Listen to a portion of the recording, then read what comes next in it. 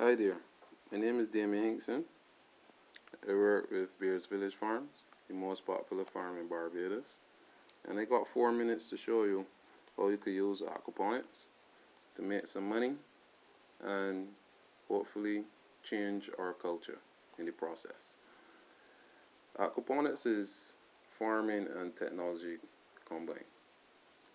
Now, using mathematics, it could be farming could be expressed as the equation labor plus photosynthesis equals food. Now, this labor comes in many different forms. It could come as the scientists that make the fertilizer. It could come as the farmers themselves, the air traffic controllers, the pilots that fly the food, the truck drivers, the people that fill these vehicles with gas, the store managers, or the cashiers. In one way or other, the whole economy is in fact based on farming. What aquaponics does is to greatly reduce the labor aspect of the equation. Enough so to a point where we can have 40 hour work weeks and still feed ourselves. Reducing our budgets by removing the vegetable matter that we would normally go to the supermarket and buy, which equates to 62% less work for the money that we save. Now, if everyone was to adopt this approach and use aquaponics, we would slowly move away from the top-down form of society to a circular economy where everyone spends with each other and everyone gets a bigger slice of the, of the pie. Now, how does aquaponics actually do this? Well, in physics, the law of conservation of energy states that energy cannot be created or destroyed, it can only be changed. And we also know that energy comes from the sun. And in biology, uh, we know photosynthesis is the process in which plants trap the sunlight to turn it into plant matter.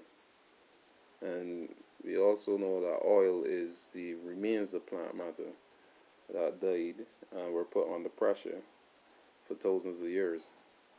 The result is oil. Oil takes a couple minutes to burn and for us to harness its energy. No, that creates a problem.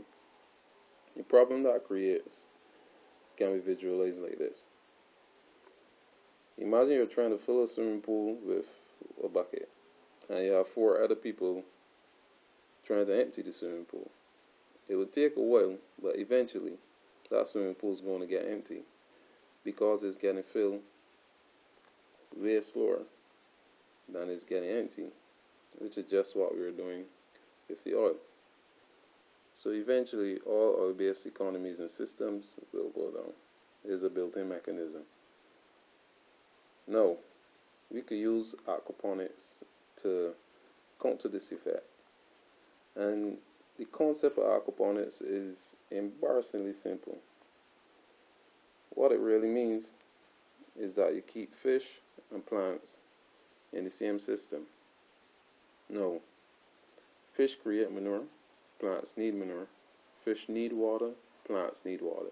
So you circulate the water between the fish and the plants could be aquarium and plant pot, or it could be a big commercial farm.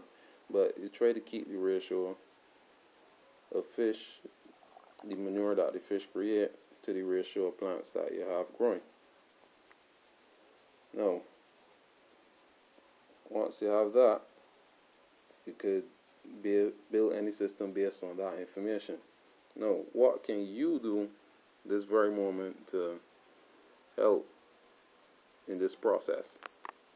You could like this this YouTube video and subscribe to our channel so you can see the winners when we present them to our competition. You can go on Facebook and look at our posts and redo the posts in such a way that is easier to understand and we would vote on that and see which one is better. The posts are also on Twitter or you yourself could just do a speech or a video of a working aquaponics system uh, uh, and upload so that we can judge in our competition. Thank you for watching.